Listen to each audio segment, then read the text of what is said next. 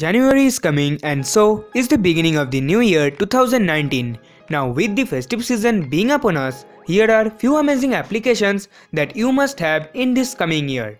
So hi friends, this is Pritham here from Tech to Use and without further delay, you should leave a like and subscribe to our channel and let's get started.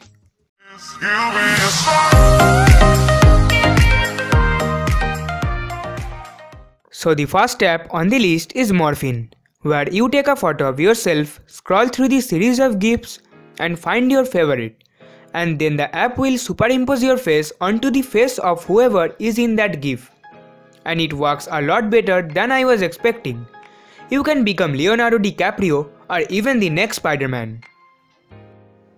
Second app is Unnotification, which allows you to have a notification. For example, if someone sends you a text message and then say for example you accidentally swipe it away, with one tap you can recover it. And this option to recover you can set a time limit on it, which I have set for about 5 seconds, and then it just disappears.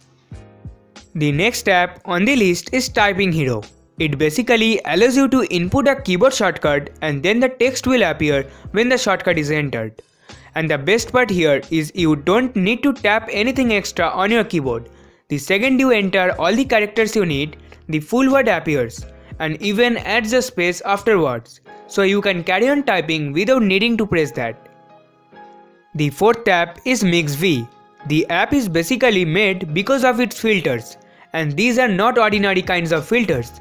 These are almost interactive video filters, for example snow or rain that can be stopped when you put your palms out, or reflective video that can create kaleidoscope kind of effects with your environment, even a phantom mode where it can capture a static version of you but then also a version that can move around within the frame. The last app on the list is Charging Theft Alarm. This app is very useful when you are charging your smartphone in a public place but you want to make sure that no one picks it up. So this app lets you set a passcode and if someone then unauthorized takes your phone away, it will blare like a siren, something like this. So that's it for this video. Thanks for watching my video. Make sure to give it a like and subscribe my channel for more awesome videos.